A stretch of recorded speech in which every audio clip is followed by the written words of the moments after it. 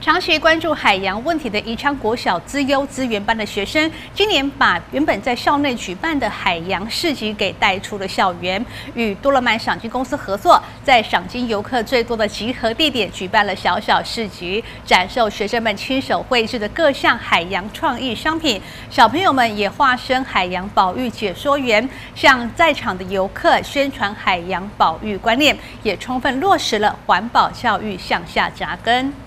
现在正是赏金的旺季，长期关注海洋问题的宜昌国小资优资源班学生，利用这个季节与多罗曼赏金公司合作，就在赏金游客报道处的走廊设置了小小的海洋市集，现场展售的都是孩子们亲手绘制的海洋创意商品。其实我们在校内办海洋跟减速市集，其实也有两三年的时间了。但我们觉得，其实，在校内把这些的理念留在校内是很可惜。我们觉得应该要走出校园，应该让多一点的游客，还有花莲的民众知道我们在做海洋保育海洋，然后还有减速的这件事情。所以我们就很高兴多罗曼能够给我们这个场地，邀请我们来这边办海洋市集。那这边呢，有很多就是呃。大家可以来看一下，这边是花莲的海洋文学的小朋友制作的明信片，然后就是让小朋友知道，其实花莲原本的样貌是非常的美丽的。透过诗人还有小朋友画的角度，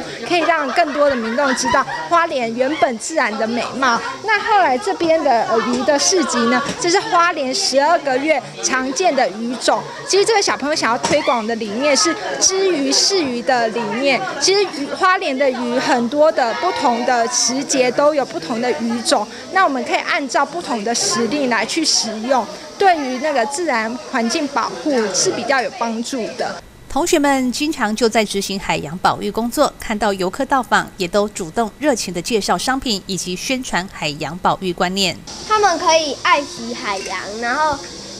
可以认真的减速，就是可以了解海洋要什么，就是呃。也可以，比如说海洋，海洋被垃圾污染，其实我们可以把这个垃圾捞起来，